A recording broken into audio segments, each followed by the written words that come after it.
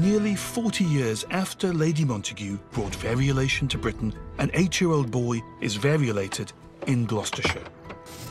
He will grow up to be a doctor who will change the world. His name is Edward Jenner. This is Edward Jenner's study, and it was right here that he wrote this book about his scientific work. And in it, he tells us that in May 1796, he met a milkmaid named Sarah Nelmes, and she had contracted cowpox, and a huge sore, a pustule, had developed on her hand. Now, Jenner is so interested in this that he includes this drawing in the book showing the sore on Sarah's hand. Milkmaids catch cowpox, a mild skin disease, from the udders of infected cows. But they rarely catch smallpox, and they're famous for having unblemished faces. This sets Jenner thinking. Perhaps catching cowpox prevents milkmaids from catching smallpox. And that led him to develop a theory that it might be possible if you infected somebody with cowpox to protect them from smallpox. If it works, it will be far safer than variolation, which exposes people to a deadly disease. Jenner tests his theory. The piece of medical equipment that Jenner uses is this. It's a lancet, a sharp blade, and this one was actually owned by Edward Jenner. What he did was he cut into the pustules on the hand of Sarah Nelmes and he extracted some of the fluid inside.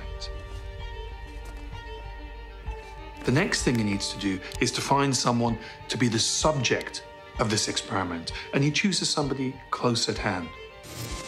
James Phipps, the eight-year-old son of his gardener. Jenner took the lancet and he made two small incisions into the boy's arm.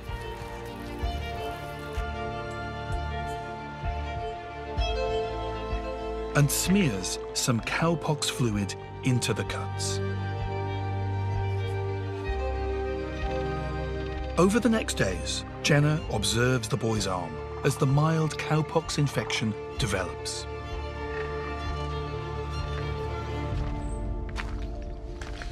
Six weeks later, Jenner moved on to the next and far more dangerous stage in his experiment.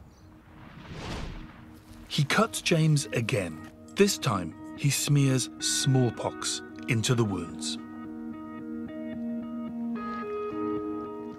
Amazingly, he develops no symptoms of the disease.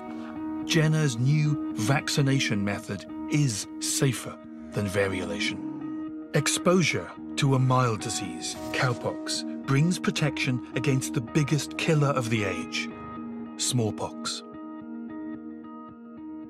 The Jenner story is a classic. I mean, it's one of the few stories of scientific breakthrough that you will actually read in a traditional history survey of the modern age. But uh, there's something kind of misleading about it in a way. Yes, the vaccine is a, a, an important breakthrough, but it was clearly building on this longer history of variolation. He was modifying and refining an existing idea that had a much, much longer history.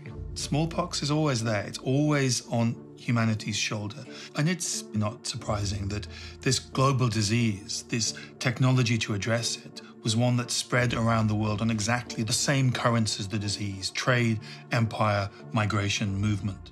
And the thing that's fascinating uh, uh, about Jenner's work here, for, for all of his brilliance, he fundamentally doesn't understand how the immune system works, right? No one does at that point in, our history. But today, we actually do understand all of that. We have a much richer uh, comprehension of the body's immune system, and that is enabling us to design a whole new class of vaccines that would have exceeded anything in Jenner's imagination. Hi, I'm Steven Johnson. I hope you enjoyed that excerpt from the series that David Olusoga and I made on the little known story behind a public health revolution that doubled the human lifespan. Here are a few more clips you might enjoy, and you can watch the entire series of Extra Life on the PBS video app or at pbs.org.